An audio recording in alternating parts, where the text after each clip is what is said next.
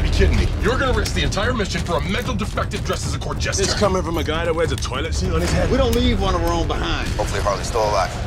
These are dangerous people. Fire up. Three, two. What are you guys doing? What?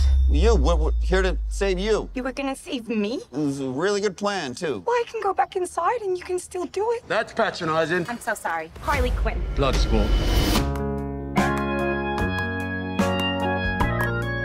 You know the deal.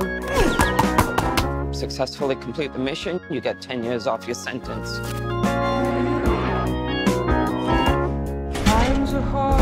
You fail to follow my orders in any way, and I detonate the explosive device in the base of your skull.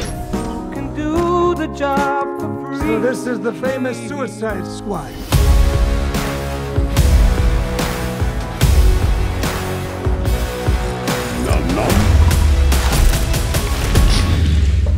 Questions?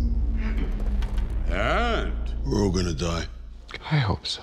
Oh, for fuck's sake. Here's the deal. We fail the mission, you die. If We find out any information you give us is false, you die.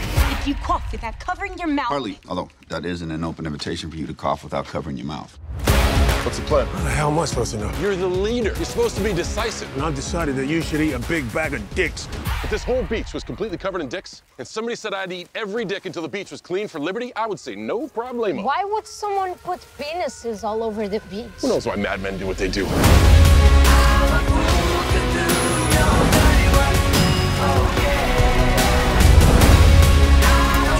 This is suicide. Well, that's kind of our thing.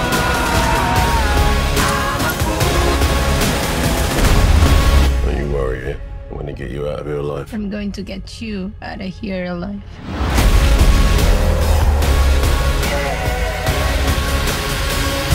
We got a freaking kaiju up in this shit.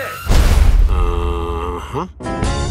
I don't want to do your bidding. We love the rain. It's like angels are splooching all over us.